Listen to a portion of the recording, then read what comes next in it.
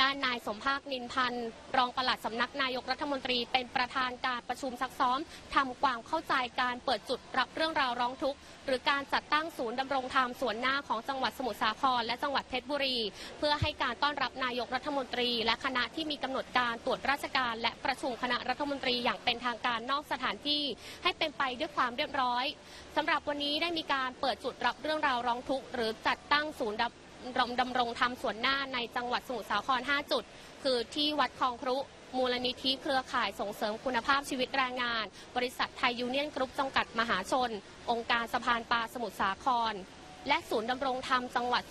สมุทรสาครค่ะ ส่วนที่จังหวัดเพชรบุรีมี 2 จุด คือที่วัดสมุทรโคดมและเขาวังค่ะ